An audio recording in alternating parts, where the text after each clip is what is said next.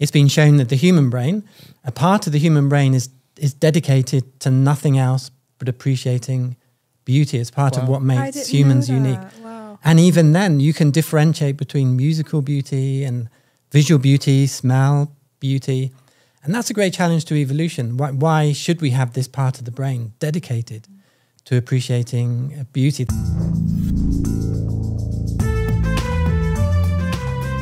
Hello, everyone. Welcome to Creation.live. In each episode of this show, ICR's scientists gather with subject matter experts, apologists, and other special guests to discuss pressing issues, whether that be ICR's current research, something new that's come to light in the scientific community, or something else entirely that ultimately impacts how science points to our Creator, the Lord Jesus Christ. We hope that these conversations are encouraging and enlightening in an increasingly chaotic world. I'm your host, Trey, and I have with me today uh, my co host, Lauren. Hello. And we have with us today on the science side of things uh, Dr. Stuart Burgess Hello? and uh, ICR President, Dr. Randy Guliuzza. Hello. Uh, thank you all so much for being here. Um, I'm excited to get to jump into this. Yeah, Uh, this is a good one. So before we get started, uh, most people know who you are at this point, so you're fine. Uh, but Dr. Burgess, uh, can you tell us a little bit about who you are, your expertise, what you've studied, all that? Um, I'm from the United Kingdom.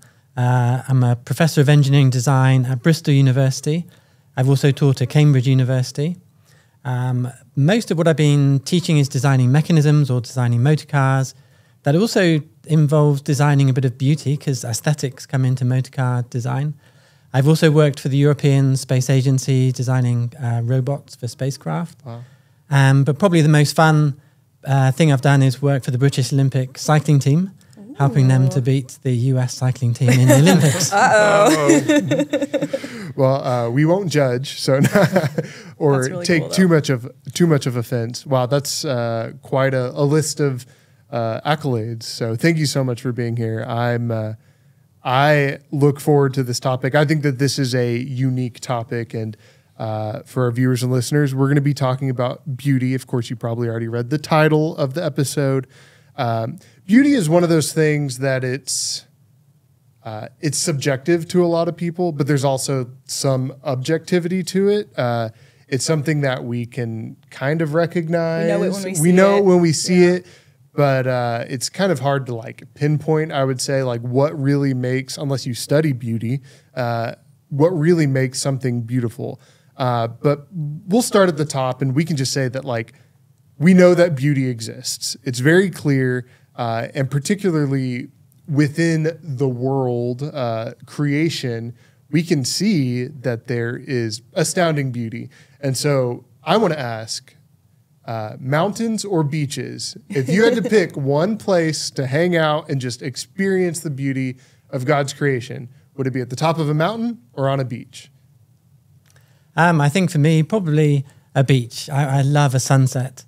Um, I love the way that even though air is transparent, God is such a brilliant designer that he can put color into air, a blue sky or a lovely sunset. And for God to create something that is both transparent but also can be made to be beautiful, that's a, a brilliant design feature. So that's probably my favorite. Awesome. Dr. Great. G? Oh, this is hands down mountain, without a doubt. Uh, you know, I live in the mountains, Yes. and uh, Not go anymore. Back, yeah, not Yeah, anymore. Texas. And right here it's not. But um, I love the Black Hills. I love uh, all the.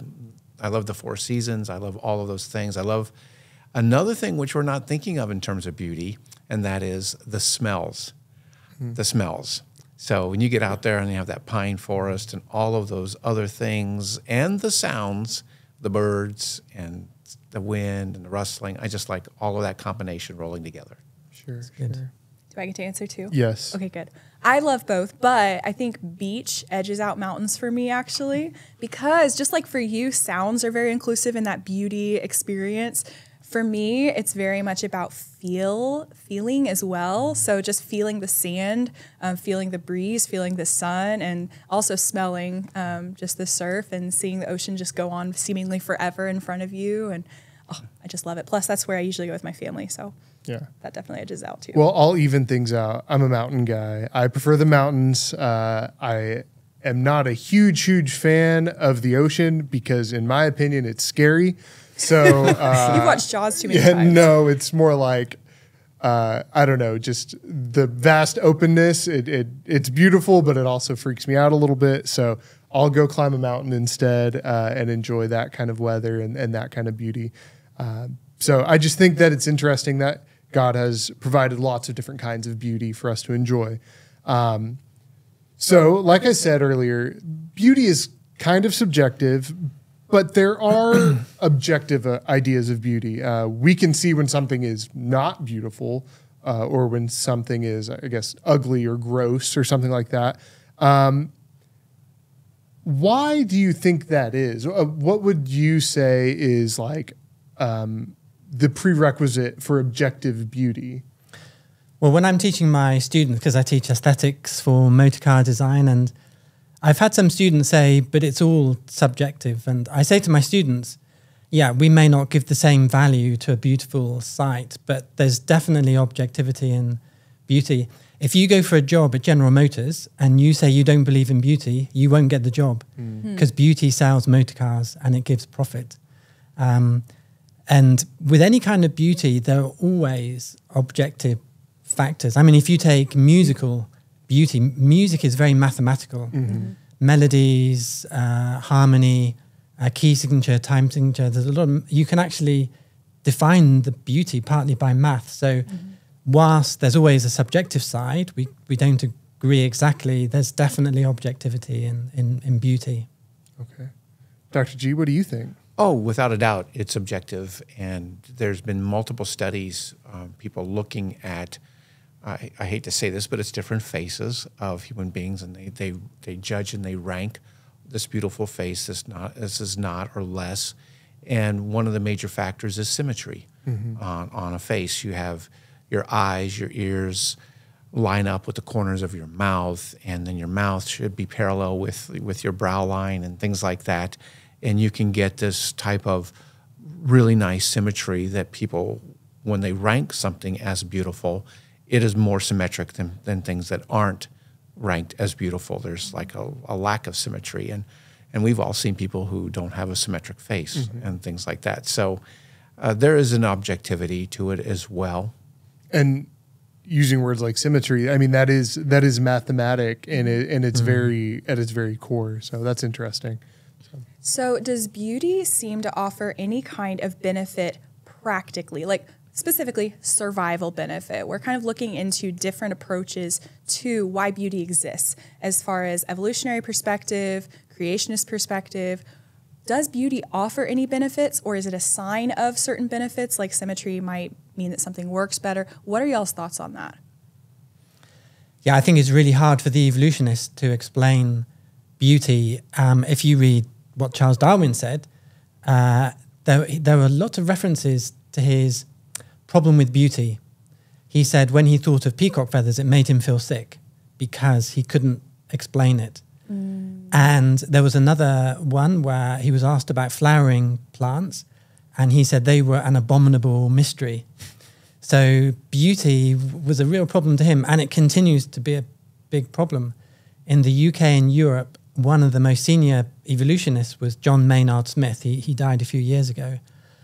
But he said in one of his publications, beauty is the, for him, the biggest challenge to evolution. He just could not explain it. Um, yeah, so I think it's, it's a big problem to evolution. i was going to say flowering plants for me are also abominable but it's because i can't keep them alive in the texas heat uh, and they keep dying so dr g what about you Yes, it is. It is a problem because it's one of those features which is is really not necessary uh, for survival. You can make up a story, and evolutionists do. I should say evolutionists. The, ev- Yes, the- that sounds so much better. I know. The well, anyway, the evolutionists they kind of make, a, and, and particularly evolutionary psychologists, Yeah. they make up stories in abundance to try to explain human beauty or other things, and and they also try to explain it by comparing us to animals, why animals do this and why we would why we would favor those things. But it's not just beauty that we have that you would say this is this is really not necessary. Why do humans have so much brain power? which is an super in abundance, more than what we really need to function. And other things like that, you, you say, well, this is far in excess of what is m- the minimum necessary in order to perform the function. Mm-hmm. And in, core, in an evolutionary theory, when you have trade offs between energy expenditure and the investment in other things, you should hit an optimization where it's just the minimum energy that you need to expend to get the minimum amount of what you need to do efficiency. to, in mm. terms of hitting an efficiency and brain power other things beauty they greatly exceed that. And so it's it's very hard to explain along those lines. And i don't know whether you're going to have any question on evolutionary psychology of like how do they try to bail themselves out of this or whatever. But of course it's it's there. And how did it get here? You can't ignore it. Right. Uh, if, if you can clearly see it, you can't ignore it. Well, to me, I would say when I see objective beauty, when I see something, I'm like, oh, that's beautiful. And I can like process that in my brain. I mean, I don't know what all is going on inside my brain when I'm seeing beauty. I'm, I'm not a neurologist or uh, it's an incredibly complex organ, but like I can see it and I'm like, hey, this is this is good um, this inspires me. Uh, this gives me hope. This gives me peace a lot of times. I think that's one of the reasons why I like mountains over over beaches is because mountains to me are peaceful and beaches to me are kind of anxiety inducing. So, uh, but when I see those things, it's like okay, this gives me something to think on and to ruminate on and to be at peace with. And to me, it indicates that there is something behind that beauty, uh, another mind that has given me this so that I can enjoy it, uh, at least um, from my perspective. And I know that here we're all, you know, we're all believers here, and it's like we know that God gave this to us, but why? Um, why does that exist? It's part of being made in the image of God. And it's interesting how you were talking about your brain processes beauty because it's been shown that the human brain, a part of the human brain, is is dedicated to nothing else but appreciating beauty. It's part wow. of what makes humans unique. Wow. And even then, you can differentiate between musical beauty and visual beauty, smell beauty. And that's a great challenge to evolution. Why, why should we have this part of the brain dedicated to appreciating beauty? That's why I think it's such a great um, evidence. But following on from that, I'd raise the point that there are two types of beauty. You know, when I'm teaching students, um, there's like a functional beauty. So if you're designing a car, if it has an aerodynamic shape, it's likely to look quite smooth and beautiful. But engineers add beauty, add embellishments to the cars, perhaps the way the grille is or some special shape. You also see it in classical architecture in, in columns a plain column can look beautiful, but it's often embellished with rims and uh, embellishments like flower shapes.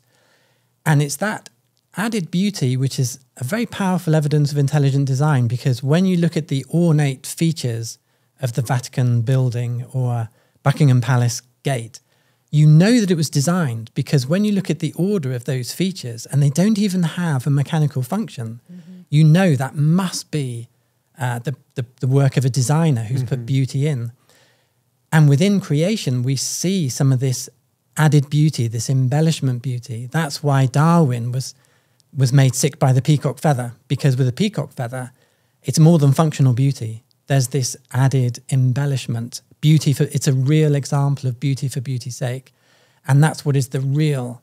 That's really where the evolutionist gets really stuck when you're talking about added beauty because it's not just. I mean, we think about okay, the peacock has the feathers to attract the mate, but then we also, as humans, a completely different being entirely, also find those feathers beautiful, and I, I think I think that that's an interesting. Uh, it's almost like they're there for us also. Yeah, there's a huge amount of information behind the beauty of a peacock feather, and it's been shown that the female peafowl can't even recognize some of the features. So the idea that the female is choosing them, that's been proved to be not mm. not possible. It's just beyond what's required. Wow. Well, and it's so interesting that animals have beauty. Animals often do things that are beautiful but have a function. But as far as what they deliberately produce intentionally on their own, they only create functional things to my understanding. They don't create just intentionally beautiful things. It's focused on the function. And yet humans do have this ability to create a building with these mm-hmm. columns that have these beautiful intricate designs on them that don't actually accomplish a purpose other than beauty. So it really sets us apart from the animals in that way. And that's that's very interesting to me. That's that's an interesting thought. Well, if we're if we're just looking at, at beauty for for beauty's sake, that's those those are the words you used, and I think that that's that's a really concise way of putting it. So beauty for beauty's sake, as humans who can comprehend and conceive of beauty, uh, put it into music, put it into artwork, put it into cars, etc. Uh, whatever we're doing, um, what then do you imagine its purpose is i mean not just why we can comprehend it because yes we're made in the image of god uh, we're we think along those same lines. Uh, what is the purpose then? Is it just for enjoyment? Uh, is it for general satisfaction? Uh, could it be maybe that it's just a pointing finger to hey it's clear that there is design because of it? I, I don't know. What, what, what are y'all's thoughts on that I think it's a, a mixture of things. It's definitely uh, creation reflecting the glory of God. When you look at the beauty of flowers, you, you, it's a reflection of God's glory. God also wants us to enjoy creation, and God in Himself enjoys creation and the beauty of creation. Uh, I think there's some important uh, Bible scriptures to consider. In Genesis 2, verse 9, I think it says, God created trees pleasant to the sight mm-hmm. showing that he did it deliberately to make them beautiful. In Job 26 13, it says, God adorned the heavens with the stars, deliberately making them beautiful. In Matthew 6, God so clothed the flowers of the field to make them beautiful. So, scripture is teaching us that God enjoyed making a beautiful creation, and he wants us to have that enjoyment of that beautiful creation. But I think at another level, it's pointing forward to the beauty of heaven. Mm. In Psalm 50, verse 2, it talks of the perfection of beauty in heaven. I think that's a really key verse teaching us that heaven is the very definition of beauty. It won't just be beautiful, it's absolutely perfect beauty. And so on earth, we have a few glimpses of this beauty to come. And even the beauty of God's people. One of my favorite verses in the Bible is from Psalm 149 God will beautify the humble with salvation. He clothes us with the righteousness of Christ if we have faith in him. And that gives us a kind of beauty. So beauty is a big, it's a big spiritual topic. Psalm mm. 27 talks of the beauty of the Lord. So beauty is a big feature of the kingdom of heaven. So it makes sense that God would want us to begin to see glimpses of that in creation. Oh, that's beautiful. I love that. No, no pun intended, but that is just a beautiful thought. It really is. Yeah. And I'm curious, Dr. G, if you had any other thoughts on the purpose of beauty, feel free to jump in. But I'm also curious your thoughts on is there an evolutionary understanding of beauty that actually makes sense? Um, and just kind of giving their side of it. But feel free to comment first on the purpose as well. Well, sure. Um, let me let me jump on with what Dr. Burgess said. Um, all of those things are a revelation of the character of God. And and all of creation is revealing different aspects of this. So the fact that we can see beauty, we know that and that he appreciates beauty, but that he is in some ways beautiful. Mm-hmm. And in the mm-hmm. same way, it's revealing there's always contrasts um, between something that is beautiful and something that isn't beautiful, light with darkness, and and beauty with things that aren't beautiful. But when we when we have the concept of like the peacock flower that that's beautiful then he extends that other things are beautiful that you may not think. He says how beautiful are the feet of them that bring good news? So mm-hmm. you normally don't always look at feet and say oh this is beautiful particularly if you're a podiatrist and you're taking care of foot disorders or things like that. But he's telling you that there's something else. I want this is this is how i see this you see this peacock feather. This is how I see someone who brings the gospel to that. And then he said, he, he, was, he speaks even of, of these holy women, that they have an inward beauty. He says, let their, let their beauty not be this outward beauty. He doesn't say there is an outward beauty. He says, but there's a beauty that extends deeper than that. And I see that beauty um, that they would have as well So, regardless of how the world would see them in terms of this outward beauty, which we still appreciate, he's saying, when I see them, it's as if I am seeing this other stuff in terms of their character. So that's a that's a real intangible thing which he's telling us is there, but you would never really understand what it is until you saw a peacock feather, you saw a glorious sunset in the mountains, or something along those lines. And by the way, uh, on TV, whenever there's a glorious sunset around here on the Weather Channel, on the weather, people are sending in mm-hmm. loads mm-hmm. and loads of pictures Good of these point. things. So there's there is they a know. they know people yeah. know what it is. They're sending it in. Oh, this was a glorious sunset. Boom, boom, boom. Here come the pictures. Mm-hmm. So everybody everybody sees this. Now, in terms of the follow up question, is there a plausible evolutionary explanation? When, and so when you say plausible, I'm going to say one that's testable, one that we can actually measure in some ways. And the answer is no. There, you, there isn't an evolutionary explanation because, for one, you can't go back in time and repeat any of this.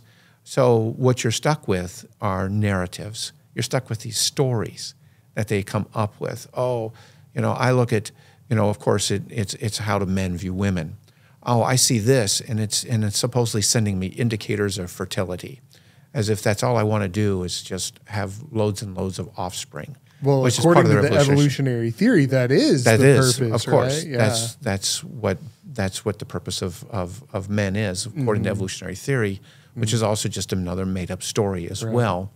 And so, for according to their story, I'm supposedly seeing indicators indicators of fertility and virility and all this other kind of stuff. But that's also not subject. That's totally subjective as well. It's not testable in any way.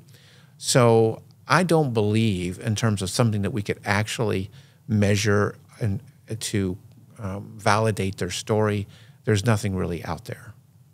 Okay. Because they do surveys and such, and people can describe why they think something is beautiful. Right. But that might not be actually why they view it as beautiful. That's or how not we empirical. Got beauty. That's not repeatable. Right. That's not testable. Exactly. Absolutely. Why do we have? Why do we have it? That, you know, that's the evolutionary explanation. Why do creatures have this? Yeah. And of course, we there's loads of creatures that we subjectively say, "Ooh, that's kind of ugly." You know, that's oh, that's gross. That's gross. But they seem to mate and reproduce. Some and, think they're beautiful. yeah, they're doing all right. They're doing all right. Can I just give uh, one example, which is, I think, a really big challenge sure. to evolution? Because uh, I've had some debates and discussions with, with, with the evolutionists, not just about the peacock feather, but I think the biggest problem, I, I would say, is, is bird song. There are some mm. birds like robins, nightingales, blackbirds, certainly in Europe. I don't know if it's the same here, but they sing with incredible musicality that has astonished scientists.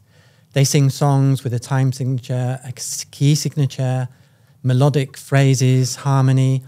In fact, For those who don't know music, that is very complicated stuff. That yeah, doesn't in, just happen. In fact, you need a degree in music to appreciate. Sometimes it's similar to the music of J.S. Bach. They, they've compared it and they've just wow. been absolutely astonished. The reason this is a really big problem is because birds don't just sing to attract a mate.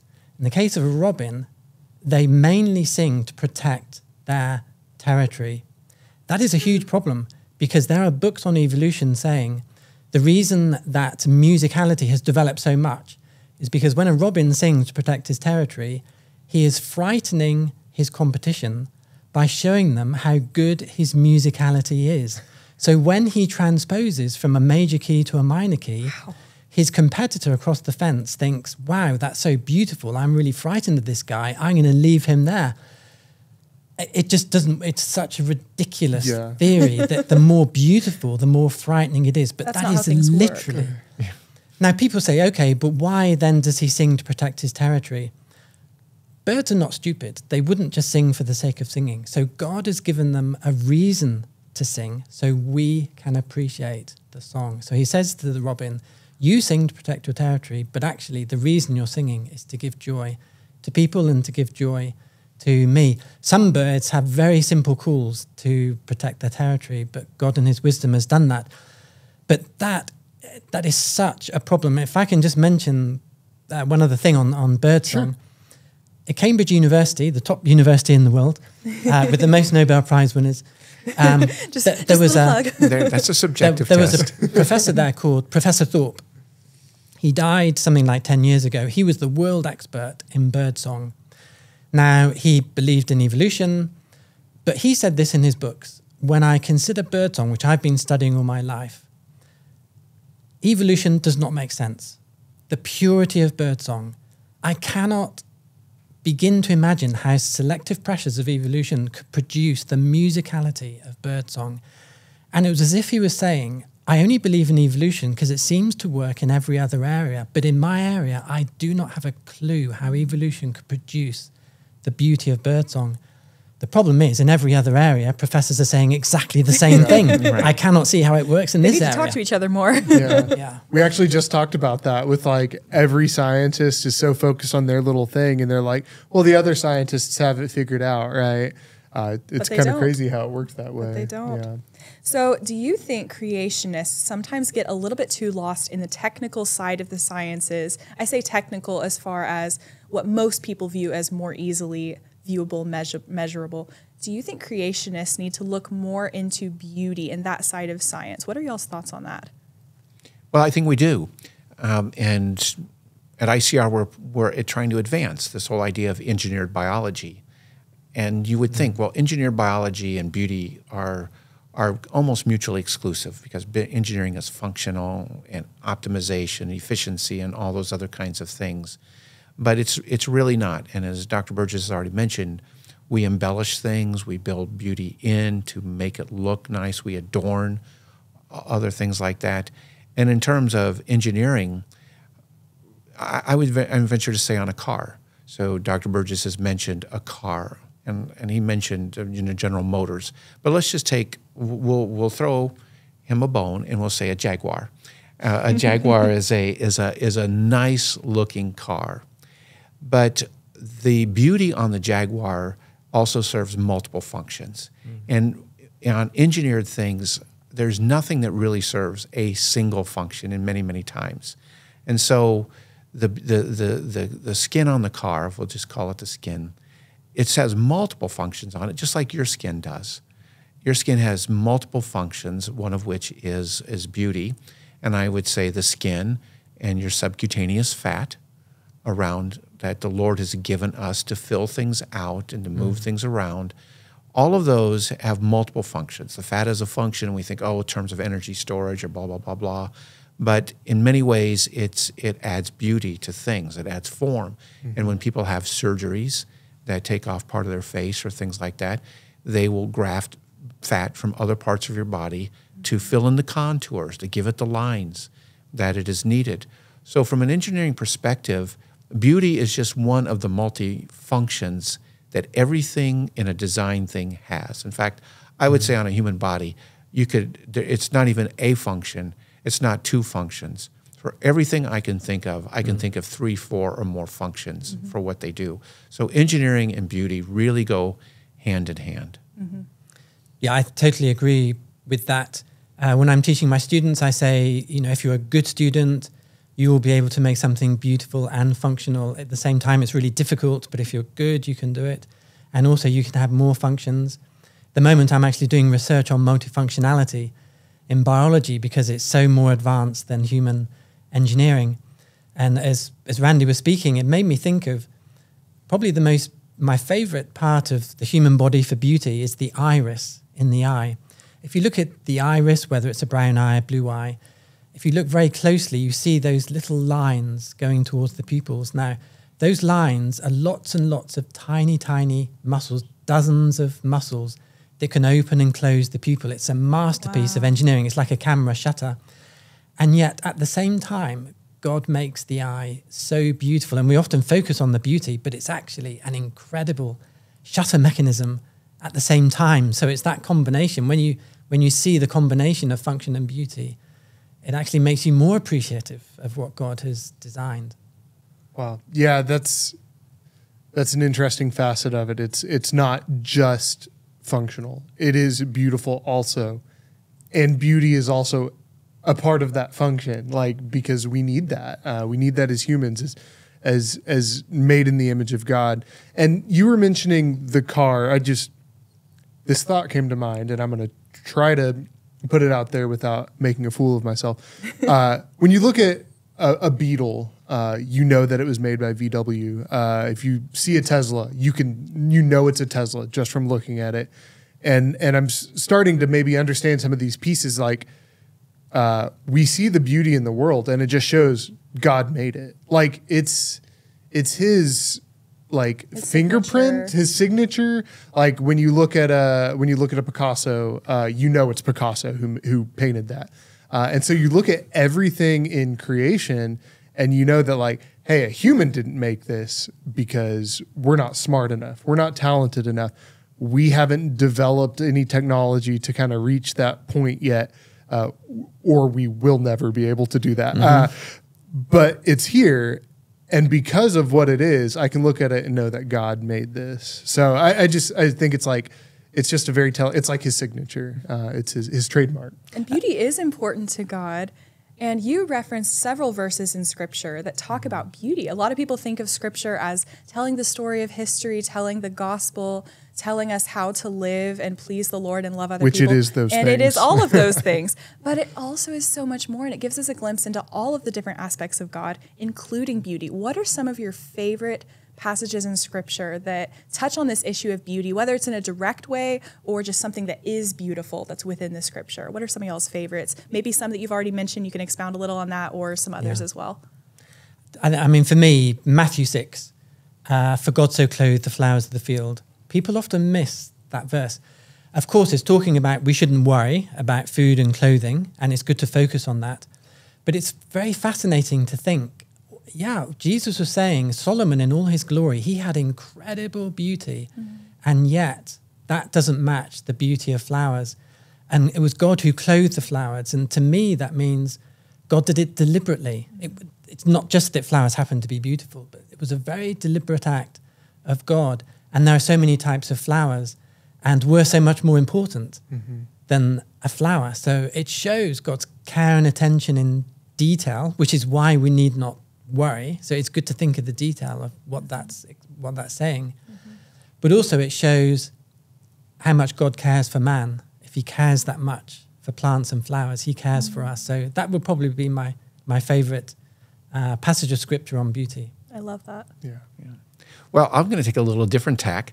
When I went to Moody, I was an engineering student, and I had a fascination with, as I already mentioned, the symmetry hmm. and the the correspondence between things. And I, I had I wasn't raised in a Christian home, so I wasn't a Bible reader for many years before that.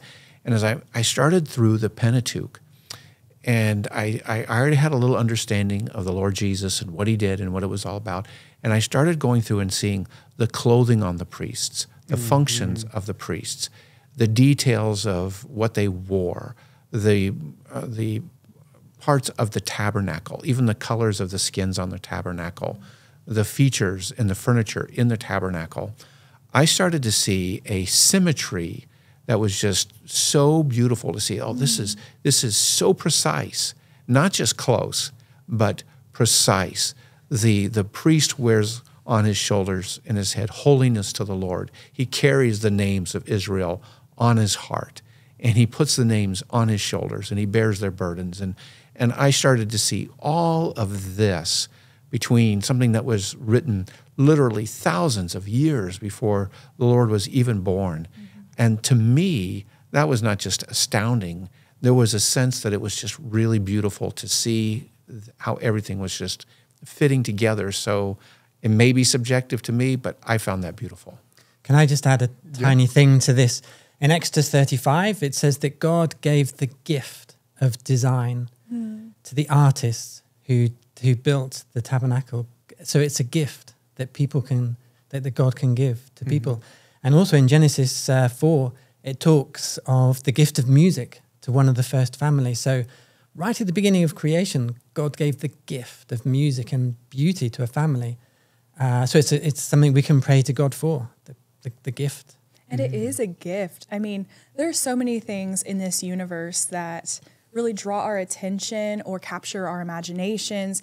But beauty, it captures almost every part of who we are, including our emotions. Like several times, even in this conversation, I've just teared up just with the thought of the intense beauty. And beauty is one of the only things for me, beauty is one of the only things that really just captures me like that. And I don't even know where to go with that. It just it hmm. this whole conversation is just so encouraging and we just get to see little glimpses of who God is and how beautiful he is. And oh, I just I love the examples that you guys gave and just the different forms of beauty. Um, like we've talked about a lot of different forms of beauty. Some of them in what God created that we can see or um, hear or smell or taste. Others in things that we can observe that He has produced, like information in a beautiful symmetrical way in the poetry in Scripture and in the different construction of the temple and he's just so creative in his beauty. And like you said, it is a gift, and we're so grateful for that. He didn't have to do that. He could have made everything purely functional if he wanted to, and it would have worked just fine. But he chose yeah. to do that. I love that, not just to bring glory to himself, but also as a gift to us. And that's that's just a beautiful thought. I know I keep saying that, but I just oh, this topic's one of my favorites. Yeah, I think beauty will be a huge topic in heaven. Yeah. Mm-hmm. It's going to be a big topic there. Mm-hmm. For yeah. sure. I was going to say, I think that we can even, um, like you had mentioned, like the feet that bring the gospel are beautiful. There's like this, uh, there's very clearly an objective beauty in like things that we see uh, and smell and hear and all that.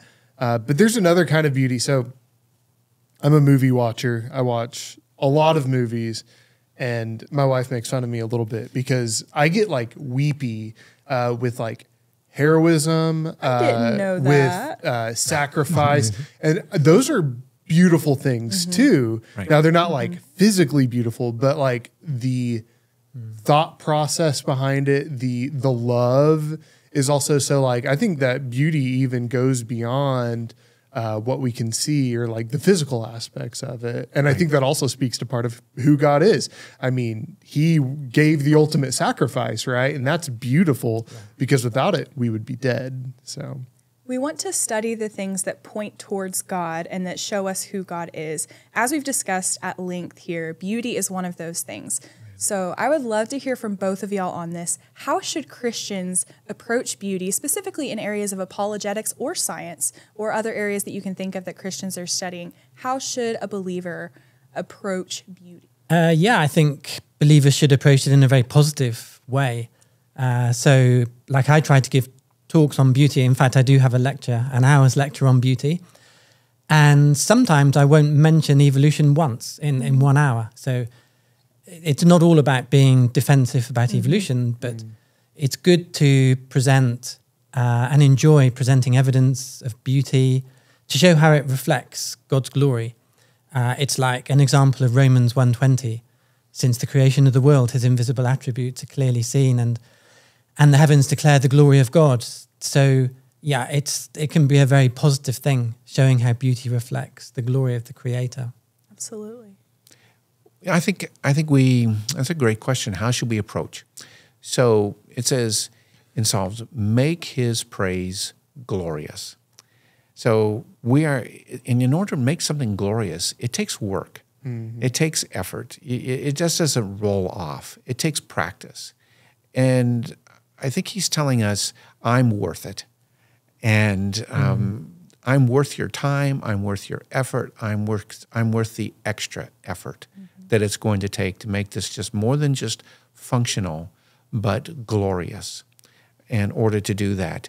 And so, in, in a way, Christians, I'm not going to say have an obligation, but they have like an impetus to do more than the bare minimum mm-hmm. in almost anything.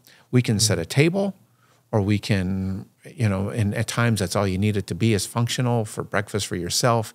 But there's other times when you have guests, there's other times when you're doing things. Are they worth it? Is your is your wife worth it to bring flowers? Is are they worth it? And so in many ways when you say how do we approach beauty, there's a part where we where we want to be practical and pragmatic. And I almost border on that side myself. But then there's other times where you say, well, this person is is really worth it and I'm going to make something beautiful for them and the they perceive and they sense the effort that you put into it and what you're the message you're sending to them uh, by doing that. because God put the effort in in creating this universe. I was just I was just thinking of it's interesting we we've so far talked a lot about beauty here on earth and and in biological things and in plants and in peacocks and uh but we're just here on the earth and there's an entire universe out there of which we're the only sentient creatures. We're the only ones who can appreciate that uh, and it's vast. It's huge and it's beautiful. Like i see pictures of nebula and uh, uh, i don't know just some of the planets that we see. And you know it's it's not perfect because our technology isn't that great out there yet but like god made all that all the stars and it's just like hey guys i'm here. I'm showing you just how awesome i am you know? And and that's just kind of mind-blowing to me but i don't know. I i just sometimes when i think about space i feel really small and then i'm like but you know god put it there for a reason to Right, show us who he is Uh, just thinking about stars, that made me think of Psalm 147. Uh, God created the vast universe. And of course, in that psalm, it, it says, Praise is beautiful.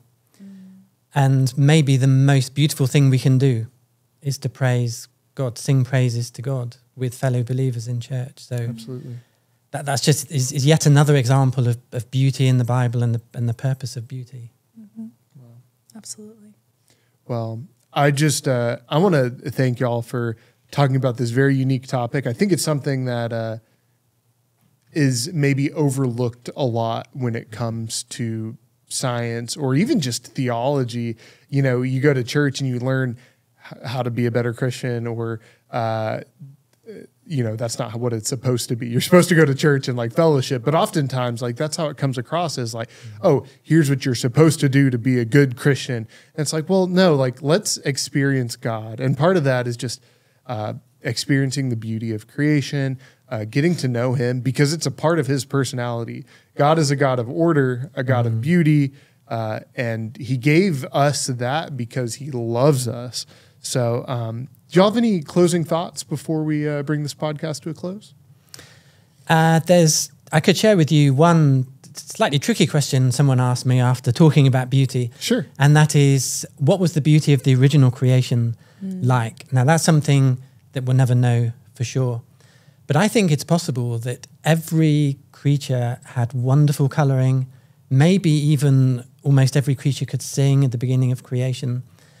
And one of the reasons for saying that is that now we see the predator prey relationship following the curse on creation, and animals need to be camouflaged. Mm-hmm. But what's interesting is if you go to areas where, like a dense forest or a coral reef, where there's a lot of protection, the animals are still brightly colored, like the birds of paradise or the coral reed uh, mm-hmm. fish. Mm-hmm. So it's only areas where animals are not protected that they've lost their coloring. And to me, that's a little indication that in the original creation there was spectacular color and music in many, many places. So here I think we're only seeing a, a glimpse of the beauty that was in the original creation, which makes me think in heaven the beauty will be back to, to full power Yeah. again. Mm. That's exciting. What a thought. Yeah. Wow. Wow. Wow. Well, as I guess we're wrapping up, and we want to always point people to the Lord Jesus Christ mm. in in every way. We want him. We want them to trust Him as Lord and Savior of their life, and, and enjoy whatever that glorious future is going to be for us as well. And a lot of times, people they they won't come to Christ, or they don't even consider God because they think He's a killjoy. Mm-hmm. They think He's an ogre. They think He's he, all He has is bad stuff out for us. But the reality is, it's just as this conversation shows, he's not. He he's good, and he wants good things for us, and he wants to give us good things. We're the ones who bring the mar. We're the ones who bring the the problem. We're the ones who mm-hmm. sin. We're the ones who sin. But the mere the real fact that there is this beauty that he enjoys and he wants us to enjoy is a real indicator that he is a good heavenly father and he has a glorious son that he has given for us. Yeah. And I bring it back a little bit to that sacrifice. That sacrifice on the cross uh, was the most beautiful, um, and that's why that's why we can enjoy it today without just being overwhelmed with how uh, depraved humanity is, how our own depravity, our own sinful nature. So, um, yes. I just, it's overwhelming a little bit. But uh, thank y'all so much for being here. Uh, we appreciate it. Thank you, Dr. Burgess. Uh, it's been fascinating talking with you. Um, I think that this whole conversation will really be a something that people can use in the future. I know it will Um, be for me. This has been hugely encouraging for me personally. I'm really It's- grateful to hear y'all's thoughts on these. I things. land on the, I, la- I land on the pragmatism side, and so I can be like, oh well, beauty isn't necessary, you know, it- but it is. It is 100 percent necessary, and it reveals who God is. So, thank you all, Welcome. Thank you. and thank you to all of our listeners and viewers for joining us for this episode of Creation.live. Uh, we encourage you to like, subscribe, share. Uh, if you have any friends who are artists or musicians or uh, they build cars or design cars, whatever, what, whatever beauty they're involved in, uh, share it with them. And uh, we just really want to get this truth out that God is just a magnificent designer uh, and that He is beautiful. Uh, so we encourage you to share, and we'll see you next time on Creation.live.